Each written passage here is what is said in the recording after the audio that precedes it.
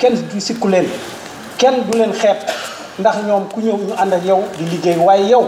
yaay teetu ministre bi yaay yaay loxo gouvernement yaay loxo président de la république yaay loxo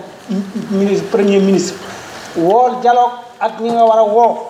waaye parti yoo xam ne trente trois trente trois cent parti politique